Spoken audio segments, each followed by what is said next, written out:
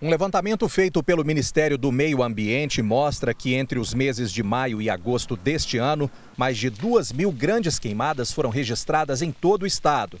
Com base nessas informações, alunos do curso técnico de Vigilância em Saúde do Instituto Federal de Goiás fizeram um estudo sobre o impacto negativo dessas queimadas no ser humano. Os malefícios são adversos, né? Ah, inclusive pode até mesmo causar câncer. Um dos principais objetivos do estudo foi determinar a composição dos gases e resíduos produzidos pelas queimadas, tanto em ambientes florestais quanto em ambientes urbanos. Muitas pessoas podem não se dar conta dos prejuízos, mas a fumaça e a fuligem são extremamente tóxicas.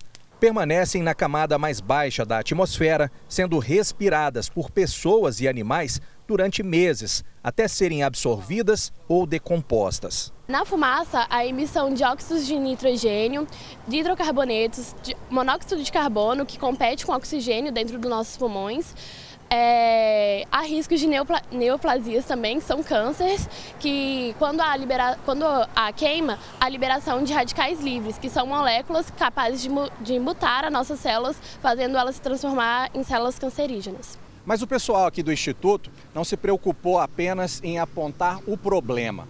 A pesquisa deles também aponta uma solução, ou seja, eles querem transformar aquilo que seria objeto de queimada em adubo. E podem até ganhar algum dinheiro com isso, não é, Diógenes? É isso mesmo. Pensando no contexto atual, que os profissionais da saúde têm um grande enfrentamento aí com o uso de agrotóxicos nas plantações, se pensar numa escala maior e os produtores, os grandes produtores rurais, é, a utilização desse adubo que não perde momento algum para os adubos industrializados é produzido com é, constituições naturais, o que a natureza o que a natureza te dá aí, folhas secas, você pode estar utilizando para transformar aí no que seria o fertilizante para as suas plantas e um contexto grande, assim, uma escala grande, está ajudando assim na sua plantação e render alguma coisa a mais, porque além de você não precisar comprar, você vai produzir o seu próprio adubo.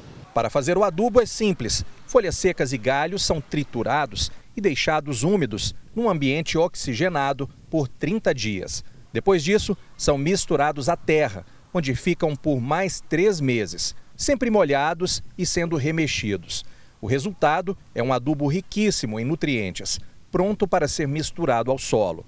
Amostras desse adubo foram distribuídas pelos estudantes para pessoas que passeavam pelo Parque Vaca Brava, uma forma de conscientizá-las da importância de evitar queimadas e de adotar práticas sustentáveis. Excelente, a juventude trabalhando em prol da humanidade, né?